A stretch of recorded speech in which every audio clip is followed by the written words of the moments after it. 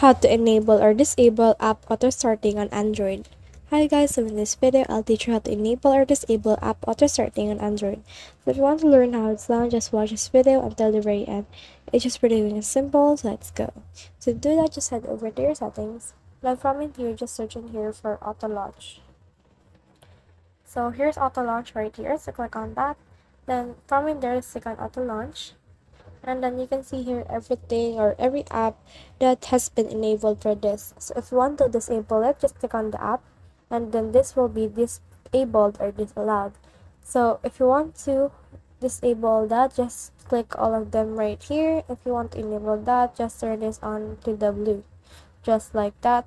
And you can also see here some apps that hasn't been disabled.